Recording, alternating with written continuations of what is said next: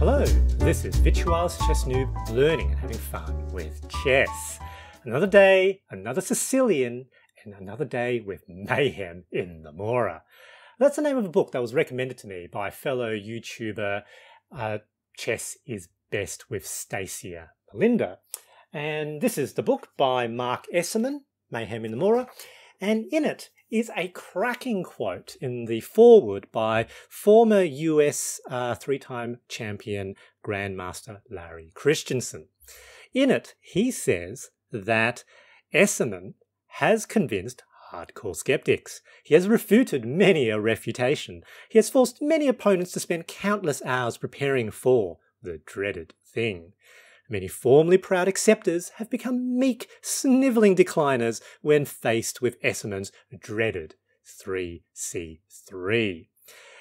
And he writes further that, you know, answering the gambit with a beta reply, so a declination, is a significant psychological victory for white by move three.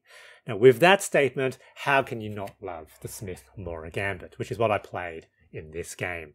I had the white pieces, of course, started with e4 and c5. Sicilian defense, whoops, d4, uh, and captures, and now 3c3. Did my opponent accept? No, they opted to do the push variation. Capture back with bishop development, and it's happy days. Basically, you're, um, you're basically quite a bit ahead. as This is about plus 0.8, uh, and there is a bit of a psychological victory for the player of the Smith-Morra Gambit in this position. Black now decides to push uh, their knight. That's a straight up mistake, actually, because you can attack that knight with uh, e5. Um, however, I chose not to do that. This is apparently plus 1.7. I'll know that for next time. I decided that, look, I'm going to play principled. I'm just going to develop. Stockfish thought, you know, should have just gone ahead. They developed the other knight. I now push that bishop. You know, potential pin, given that black will probably want to play um, e6 or e5 at some point. So they decide to give my bishop a bit of a chase. There we go. And of course, now we've gotten black to commit to those flank pawn moves. So if they were ever thinking of casting kingside, it's not really such a good idea anymore. They now immediately strike out with e5. And you can see Stockfish calls that a mistake, basically because there's two attackers, only one defender. I maybe too clever by half, decided to do something sneaky. I moved my bishop to attack the f7 pawn. Uh, you can see Stockfish says, don't do that, just take. And basically we're back to equality. But what, what, what I was thinking of was to take, take, capture, and then I would have two attackers on the F, uh, f7 pawn. However, white can of course blunt that with just d6, very natural move. Though consider black's development is a bit odd at the moment and definitely not very Sicilianish.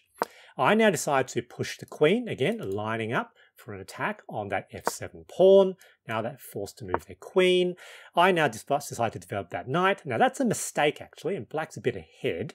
Uh, I straight up didn't see that that pawn was actually just hanging. That was a mistake on my part. However, they got a little bit spooked about that square as they decided to play a6 to defend the b5 square. But consider all these pawn moves that black has been forced to make. I now decide to a long, uh, long castle. Stockfish sees a way for the queen to immediately infiltrate into b6. That would have been a good move, I think. Uh, they tried to develop their bishop in this sort of fairly cramped position. I now decide to uh, centralize my rook, also defending that pawn. Now, you would have seen that uh, Stockfish thinks that um, there are two other moves which are best. So the human move is queen capture b7. Now, I wasn't entirely sure I really like that because, you know, potentially I'm opening up that file. You know, there's I could see some potential tactics there by black, but but apparently that was quite good. The absolutely mad engine line is this rook sacrifice. Rook captures pawn on d6. Let's have a look at this line because uh, whoops, let's move back.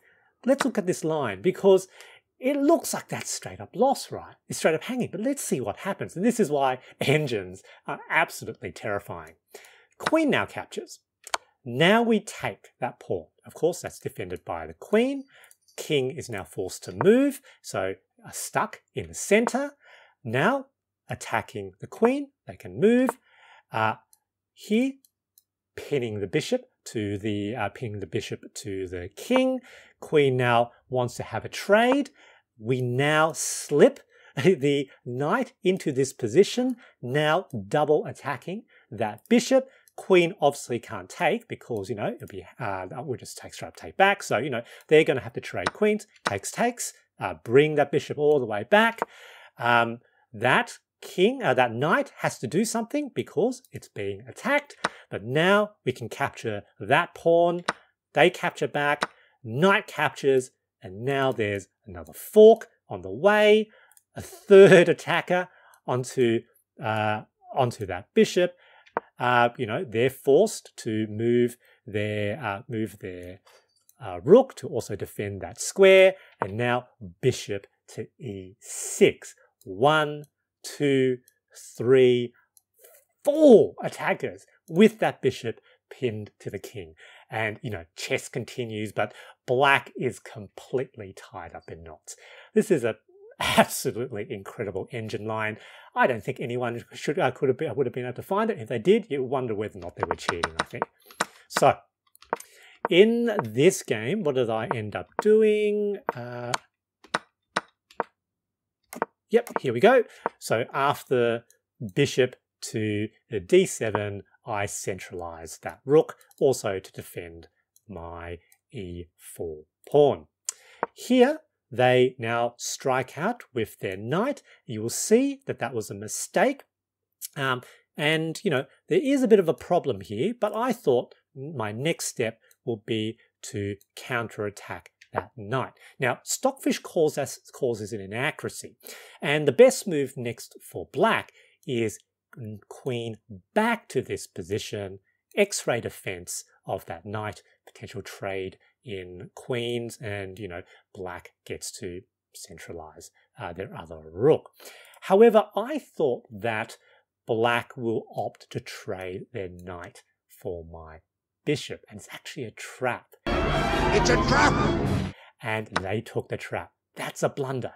See it getting worse and worse and worse? I can let you know that on high depth, this is plus 7.8. It's almost plus 8. And the reason for that is I can now almost force capture black's queen. Uh, I was really proud of myself because I actually calculated this in game. Basically, I capture back and now I've got three attackers on that pawn. Uh, that is apparently the best move for black, but now knight captures the pawn with check. Black has only two legal moves here. Either they have to capture the, the knight, um, so get rid of the checking piece, but of course lose their queen, or they will can have to move the king out of check. Let's see what happens when they move the king out of check. That's the only uh, one of two legal moves. Knight to f5, discovered check, attacking the queen. The queen can block the check, but it will be lost, or the king will have to move out of the way and it will be lost. So absolutely devastating. Now my my opponent did calculate it and they realized that queen captures, losing the queen is probably best. So captures, captures, captures, and he takes, uh, and they decide to short castle trying to get the king out of there, take again, and here my opponent opted to resign. Psychological damage Good game. GG. My big takeaway from this game is to play the Smith-Morra Gambit against the Sicilian. You will like it. I hope you enjoyed this video and thanks for watching.